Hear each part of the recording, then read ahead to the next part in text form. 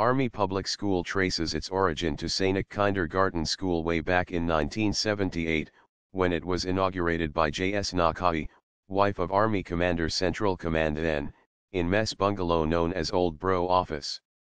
It changed names from the initial one to Sainik School and then Tithwal School. On April 1 of the same year, it joined the chain of Army schools run by Army Welfare Education Society, AWS.